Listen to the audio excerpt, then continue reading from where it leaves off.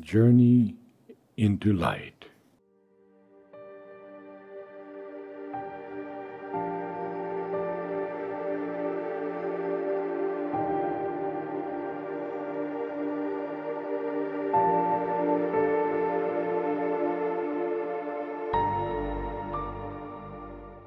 Tehmi.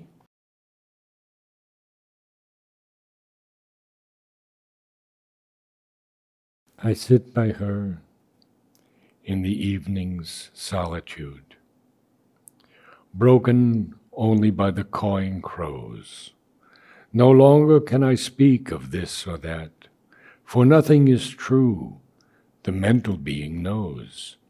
I am lacking in the soul experience and cannot say where the psychic is, but reading with her in this simple light, I know that this, and surely only this, is real.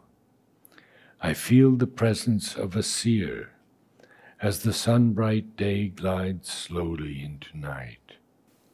Beside me, voicing wisdom, heart to heart, one who has achieved the inner sight, a captain on the voyage of her soul. Devotion, love, surrender in her eyes, and kindliness and humble reverence.